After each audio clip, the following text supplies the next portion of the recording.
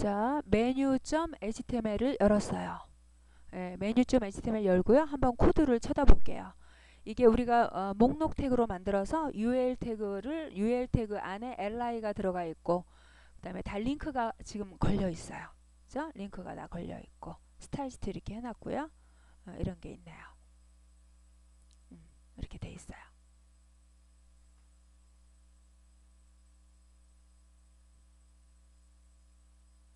음. 어, 그러면 이번에는요, 예를요, 음,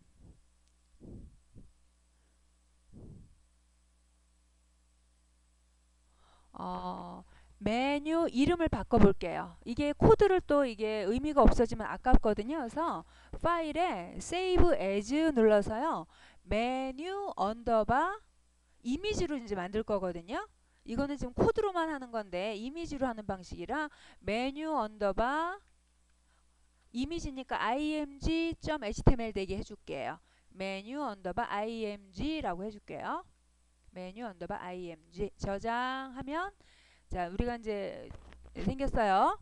자 그러면은요 첫 화면으로 첫 화면으로라는 글자를 지워요. 어 지우면 안 되겠다. 문제가 심각하네. 첫 화면으로라는 코드로 가서 지워야 되겠는데 여기서 지우니까 싹 없어지네. 코드로 가서 지워야 되겠다. 그죠? 코드로 가서 지우세요. 큰일 나겠습니다. 자 지운 다음에요 이미지 버튼 있죠? 아, rollover 말고 그냥 이미지요. 아니 아니 아니 잠깐 잠깐 지금 rollover 하는 거죠? 아 그러니까 rollover 이미지 맞아. rollover 이미지 누릅니다. 글자 지우고 rollover 이미지로 대체하는 겁니다. 자 rollover 이미지 누릅니다. 눌러서 browse 첫 번째 browse 눌러서 교재에 나와 있죠? 첫 번째 browse 눌러서 교재 133쪽에 3번 써 있는 거 있죠? img 1 underbar 19 오케이 자, 그 다음엔 1 underbar 20 오케이 이렇게 하면 되죠. 그죠? 어, alternate text랑 밑에 URL이란 얘기는 안 나와 있으니까 이건 나중에 수정해도 되니까 그냥 오케이 하자는 것 같아요. 교재에는요. 자, 우리도 그냥 그렇게 합시다. 오케이. 자 그러면은 우리가 아까 연습을 했다시피 rollover를 하게 되면요 되게 그 시기가 이미 저기 무슨 코드가 되게 복잡해져요. 막 스크립트가 엄청 들어와요. 위에 보면요 스크립트가 엄청 들어와 있어요. rollover 하나 때문에 스크립트가 function에 또 function에 function 세 개 들어와 있어요. 난리도 아니에요.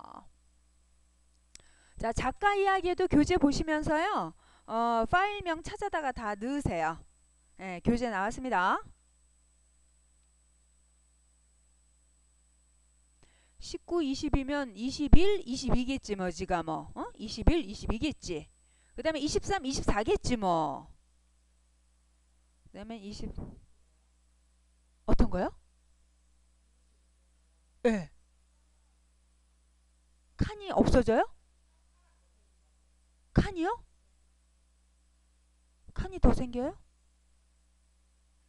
일단 해놓고 뭐 어떻게 되겠죠 뭐 어, 그 다음에 21, 22, 21, 22, 23, 24 23 23 24그 다음에 25, 26그 다음에 25, 26 25 26 자, 저장하고 브라우저로 보고 생각을 합시다.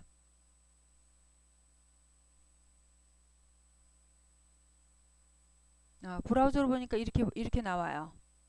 우리가 배경색을 줬더니 얘는 배경이 흰색으로 돼 있어가지고 이렇게 나와요. 뭐 음, 고쳐줄 수도 있는 거고. 뭐 배경 싫으면 우리 그, 그 클래스에서 다 지워주면 되지 뭐. 어 클래스에서 지워주면 되는데 어 그렇습니다.